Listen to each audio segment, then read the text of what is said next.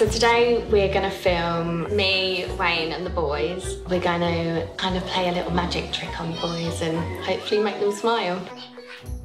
It's amazing to be able to be working with Disney, Pixar and Mattel. I played with all their toys when I was growing up and now it's nice to be able to share that with the boys and kind of tick that box off. Who's your favourite? Dinosaur.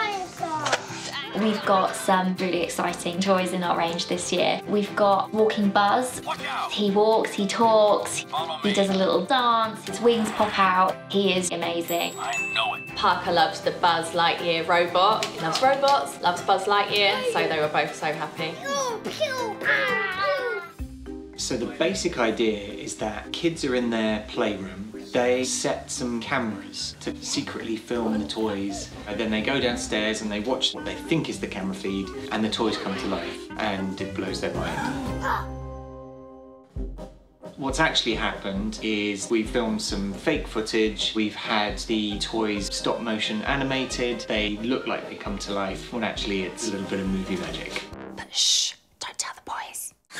To emphasise the magic of the toys coming to life, we also wanted the room to magically transform into an amazing cardboard city fairground like the one in the new Toy Story film. We've got the Ferris wheel, we've got the octopus ride, we've got slides, we've got windmills, and a camera that we've hidden in the set that's filming the kids as they come into the bedroom.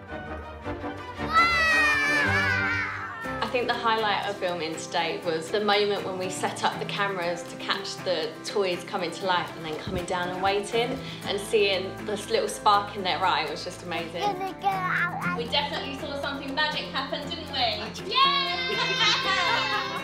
Well done, everyone. That's a wrap.